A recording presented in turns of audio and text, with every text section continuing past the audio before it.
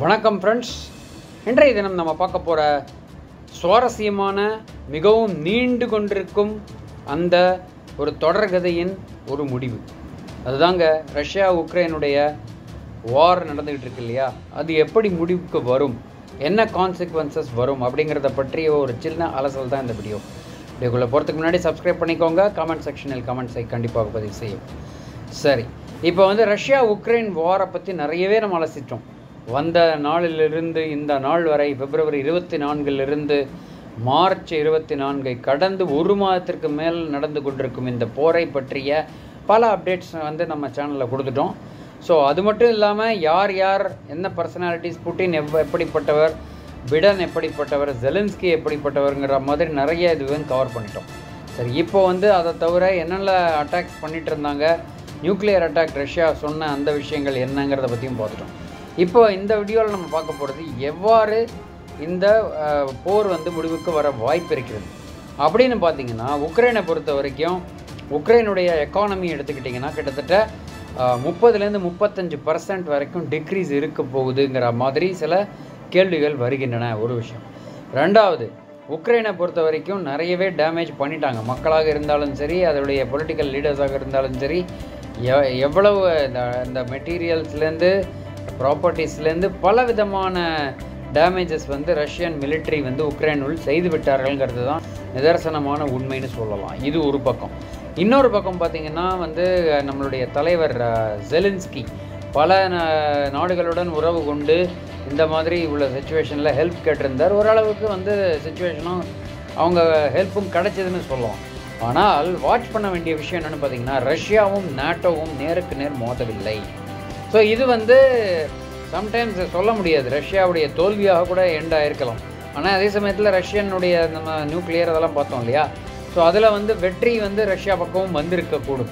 இது எவ்வாறு நம்ம நடந்திருக்கக்கூடும் என்று நம்ம கணிக்க முடியாது. ஆனால் விஷயம் என்னென்னு பார்த்தீங்கன்னா இந்த மாதிரி சில டைரக்ட் கன்ஃபrontation இல்லாதது கூட சில அமைதி பேச்சுவார்த்தைக்கும் ட்ரூஸ் வரத்துக்கும் அதே சமயத்தில் ரஷ்யாவுடைய ஒரு ரஷ்யாவும் சரி யுக்ரைனும் சரி அவங்க பிரஸ்டீஜ் வந்து ப விட்டு கொடுக்காமல் ஓரளவுக்கு போய்விடுவார்கள்ங்கிற மாதிரியும் ஒரு நிலவரம் வந்து கொண்டிருக்கிறதுன்னு தான் சொல்லலாம். ஒரு விஷயம்.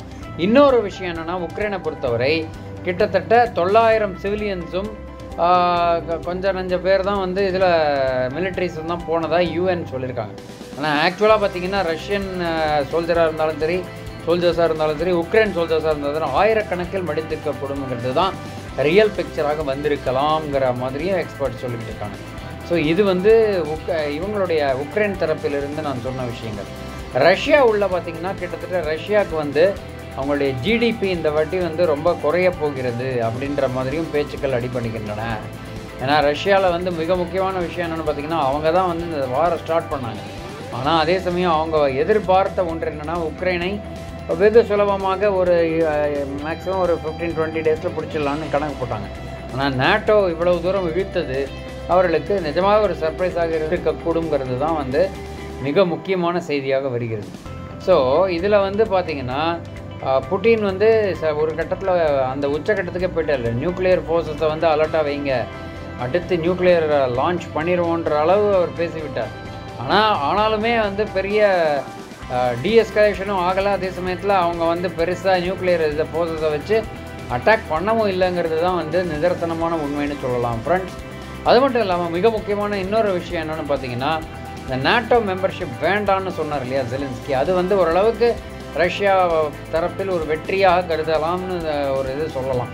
ஏன்னா வந்து அவங்க வந்து இவங்க அதை அக்செப்ட் பண்ணக்கூடாது உக்ரைன்கிறதுல ஒத்த காலில் நின்னாங்கன்னு சொல்லலாம். அது ஒரு மாதிரி அவங்க ஒத்துக்கிட்டு தான் இருக்காங்கங்கிறது உட்பட்ட விஷயமாக கருது க- கருதலாம்ங்கிறது தான் என்னுடைய விஷயம். போஸ்ட் வார் சுச்சுவேஷனில் நான் சொன்ன மாதிரி ஜிடிபி கிட்டத்தட்ட ரஷ்யாவுக்கு வந்து இருபதுலேருந்து பதினஞ்சு சாரி எட்டுலேருந்து பதினஞ்சு பர்சன்ட் வரைக்கும் வந்து ஷ்ரிங்க் ஆகக்கூடும் அப்படிங்கிற மாதிரி தெரிகிறது.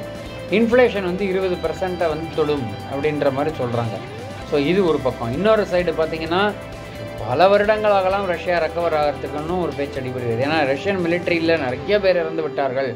இன்னும் அது சரியான கவுண்ட்டு சொல்லலை. சைனா கவுண்ட் மாதிரி ரஷ்யன் கவுண்ட் வந்து எக்ஸாக்டாக தெரியல. ஆனால் விஷயம் ரொம்ப சீரியஸாக தான் இருக்குன்ற மாதிரி தான் சொல்லலாம்.